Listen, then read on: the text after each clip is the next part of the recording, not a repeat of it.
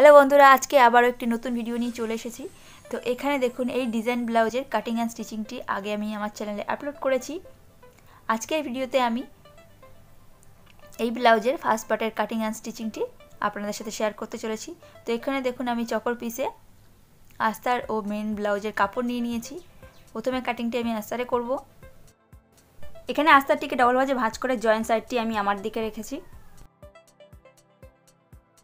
তো বন্ধুরা প্রিন্সেস কাট ব্লাউজে সামনের পাট কাটার সময় অবশ্য নিচের দিক থেকে হাফ থেকে এক ইঞ্চের একটি মার্জিন নিতে হয়। তো আমি এখানে পৌনে এক ইঞ্চের একটি মার্জিন নিয়ে দাগটিকে সোজা করে কেটে নিলাম।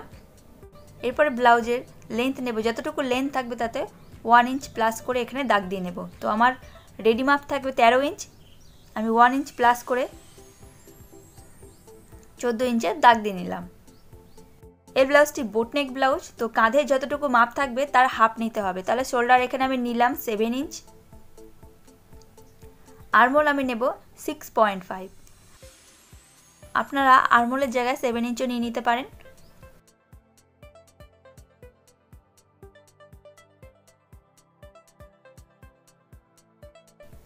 এরপরে এখানে নেব বডির মাপ। তো বডির চার ভাগের এক ভাগ এখানে নিয়ে নেব।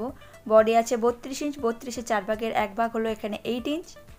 আর টু ইঞ্চ নিলাম সেলাই মার্জিন যতটুকু আমাদের ওপরে এসেছে, ততটুকু মাপি আমি নিচে নিয়ে নিলাম। এরপরে লাইনগুলো সোজা করে নেব।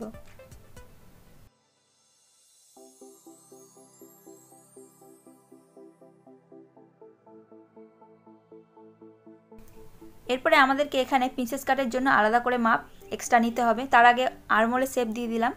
ওয়ান ইঞ্চ মাপ নিয়ে এইভাবে আরমোলে শেপ দিয়ে দিলাম।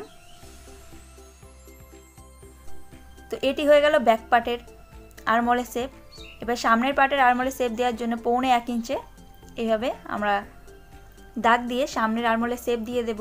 বোটনেক ব্লাউজে একটু বেশি করে সামনের আরমোলে শেপ দিতে হয়। সেই জন্য আমি এখানে পৌনে এক ইঞ্চ সামনের আরমোলে শেপ দিয়েছি। পিসেস কাট ব্লাউজে সামনের পাটে এক্সট্রা মার্জিন আলাদা করে নিতে হয়। ওপরে এই সাইডে আমাদের কাট আছে সেই জন্য ওপর থেকে এক ইঞ্চ ও নিচের দিক থেকে আমরা টু ইঞ্চ এইভাবে নিয়ে দাগটি লম্বা করে নিলাম। বত্রিশ সাইজে বেস পয়েন্টের মাপ নেব নাইন পয়েন্ট ফাইভ ইঞ্চ আর এই সাইড থেকে নেব থ্রি পয়েন্ট ফাইভ দাগটিকে নিচের দিকে সোজাভাবে টেনে নিলাম। এদিক থেকে নেব টু ইঞ্চ ওপরের দিকে একদম নিচে থেকে নিলাম টু পয়েন্ট ফাইভ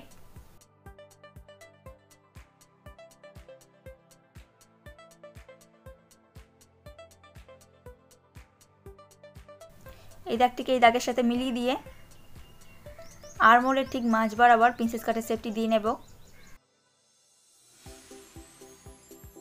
তো এখানে আমাদের একদম দুই সুতার একটি কাট আসবে।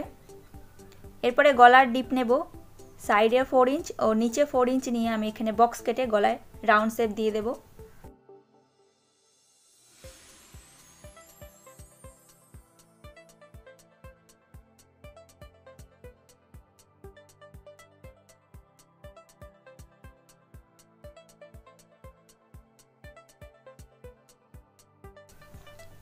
এখান থেকে নিচের দিকে নিলাম টু ইঞ্চ টু ইঞ্চ নিয়ে এখানে সামনের গলার ডিজাইনের শেপ দিয়ে দিলাম।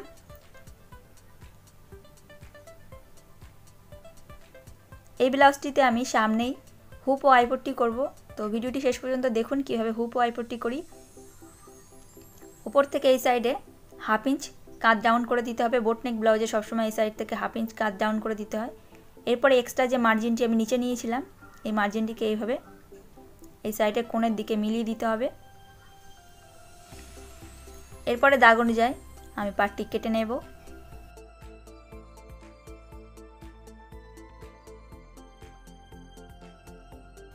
এখানে সামনের পাটের আরমোলে যে সেফটি আমি দিয়েছিলাম, সেই লাইন অনুযায়ী আমি একেবারে কেটে নিচ্ছি। আপনারা চাইলে এখন না কেটে ব্যাক পার্টের আরমোলের শেপ অনুযায়ী কেটে সেলাইয়ের পরেও এই আরমোলের শেপটিও দিতে পারেন।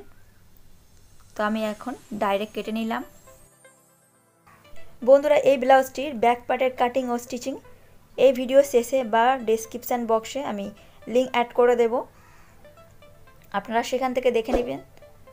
আর যারা এখনও আমার চ্যানেলটিকে সাবস্ক্রাইব করেনি বন্ধুরা, তারা প্লিজ আমার চ্যানেলটিকে সাবস্ক্রাইব করে আমার পাশে থাকবেন।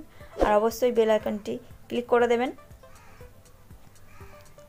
তো এখানে দেখুন কাটিং করে নেওয়ার পরে আস্তারের পাটগুলিকে খুলে নিয়ে আস্তার ও মেন কাপড়টি একসাথে পরস্পর রেখে কানা দিয়ে একটি করে আমাদের সেলাই দিয়ে নিতে হবে। প্রিন্সেস কাটের পার্ট দুটিকে সরিয়ে আগে আমরা সামনের পার্টটি রেডি করব। তো এখানে ব্লাউজের মেন কাপড়টিকে সোজার দিকে রেখে তারপরে আমাদেরকে আস্তারটি রাখতে হবে। তো আস্তারে একটি সাইডে চোখের দাগ আসেনি। চোখের দাগটিকে অন্য সাইডেও নিয়ে নেব। তো এইভাবে চোখের দাগটিকে ডিপ করে একটু হাত দিয়ে চাপলেই অপর সাইডে দাগটি চলে আসবে। তো দেখুন, এইভাবে আমি অপর সাইডেও চোখের দাগটি দিয়ে নিলাম।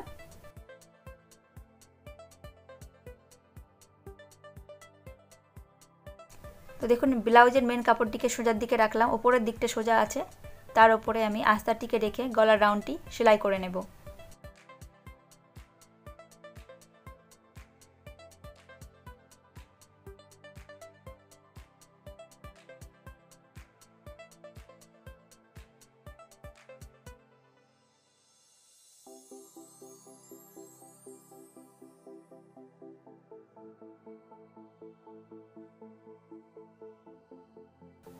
সেলাইটি করার পরে এক্সট্রা কাপড়টি কেটে নিয়ে পুরো গলার রাউন্ডে ছোটো ছোটো করে কাট লাগিয়ে নিতে হবে। কাটার সময় লক্ষ্য রাখতে হবে মেন সেলাইটি যেন না কাটে।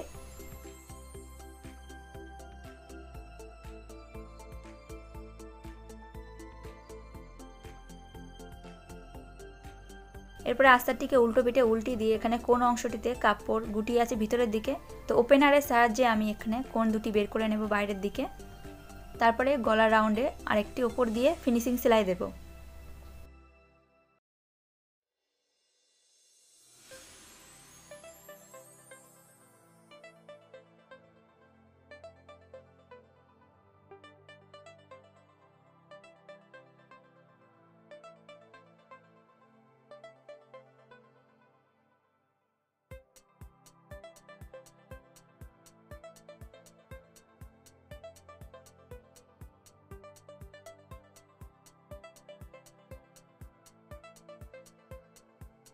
একই সাথে আমরা কানা দিয়ে সেলাই করে দুটি কাপড় একসাথে সেট করে নেব।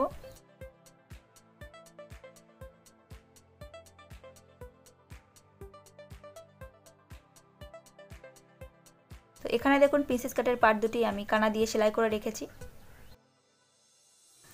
তো পিসেস কাটের পার্ট দুটি আমরা নিচের সাইড থেকে এইভাবে রেখে তারপরে জয়েন্ট করব। তো বন্ধুরা, এখানে আপনারা ডবল করে অবশ্যই সেলাই দেবেন। আমি এখানে একটি করে সেলাই দেখাচ্ছি আপনাদেরকে।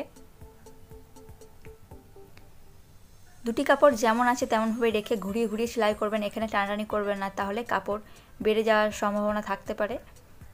আর বেড়ে গেলে প্রিন্সেস কাটের সেফটি একদমই সুন্দর আসবে না।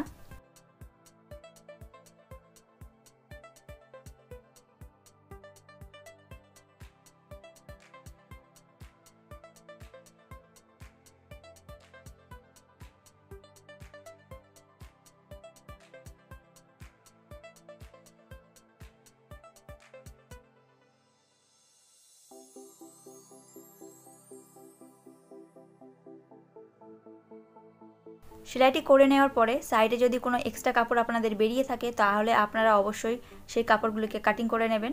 এরপরে পাটটিকে আমি ডল ভাজে এইভাবে ভাঁজ করব।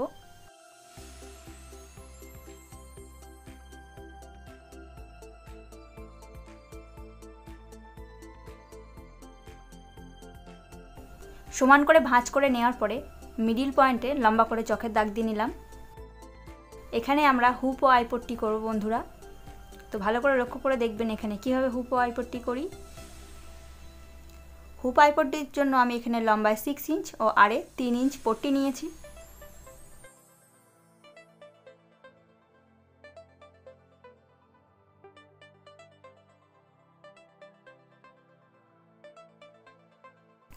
তো বন্ধুরা, এখানে এই পট্টির নিচের দিকে যে কোনো একটি কানা ছেড়ে তিনটি কানা আমরা একটি ভাজে ভাঁজ করে সেলাই করে নেব।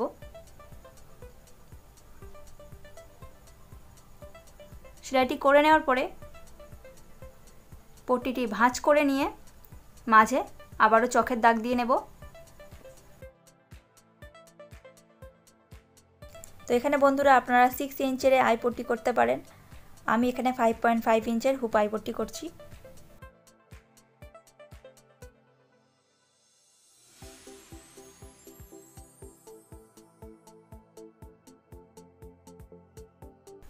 পট্টিটিকে ব্লাউজের চোখে দাগ বরাবর রেখে মাঝে এক সুতা পরিমাণ গ্যাপ রেখে দুই সাইডে সেলাই দিয়ে নেব।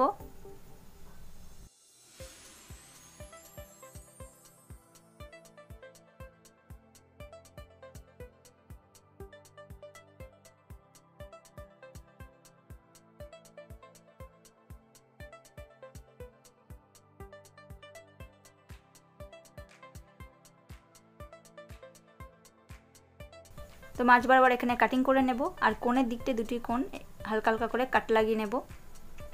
তারপরে পটিটিকে উল্টো পিঠে উল্টে দিয়ে উপরের একদম কানা দিয়ে একটি ফিনিশিং সেলাই দিয়ে নেব।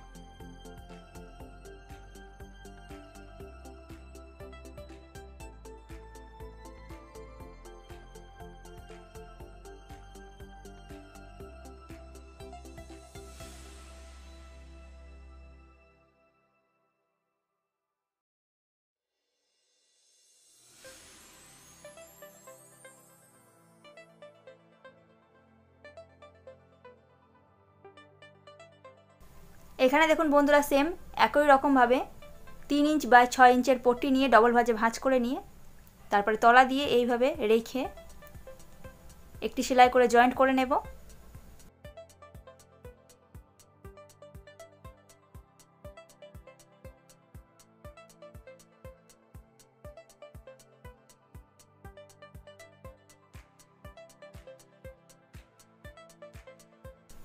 এরপরে এখান থেকে আমরা সেলাইটি, এই সেলাইটা ঘুরিয়ে আসব। যতটুকু পট্টির মাপ আছে ততটুকু সেলাইটি এই সাইডেও দেব।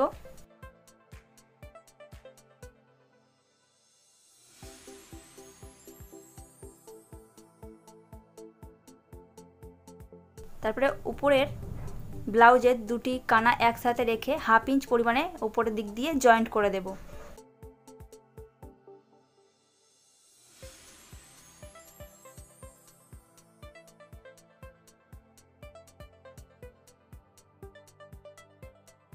এখানে দেখুন হাফ ইঞ্চ পরিমাণে এখানে আমি সেলাই করে দিয়েছি।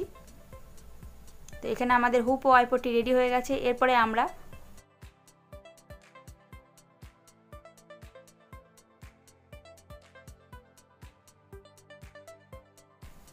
কোমর পট্টি জয়েন করার জন্য এখানে আমি দেড় ইঞ্চ পরিমাণে লম্বা পট্টি কেটে নিয়েছি। এরপরে পট্টির একটি কানা ভাঁজ করে ওপর দিক থেকে সেলাই করে পট্টিটি জয়েন্ট করে নেব। তো আমি এখানে একটি সাইড দেখাচ্ছি। আপনারা দ্বিতীয় সাইডটি সেমভাবে সেলাই করে নেবেন। এরপরে জয়েন্ট পটির উপর দিয়ে আরেকটি সেলাই দিয়ে পটিটিকে উল্টো পিঠে ডবল ভাজে ভাঁজ করে নিয়ে আরেকটি সেলাই দিয়ে নেব।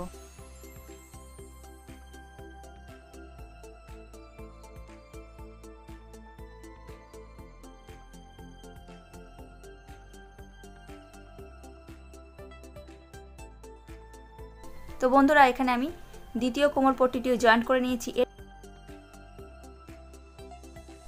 এরপরে আমি গলার রাউন্ডে এখানে গোল্ডেন পুঁতি দিয়ে গলার রাউন্ডটি সেলাই করে নিচ্ছি।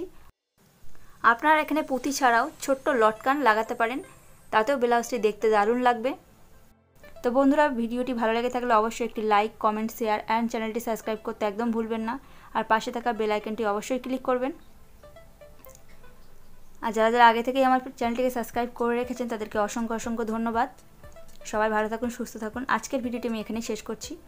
Thank you so much.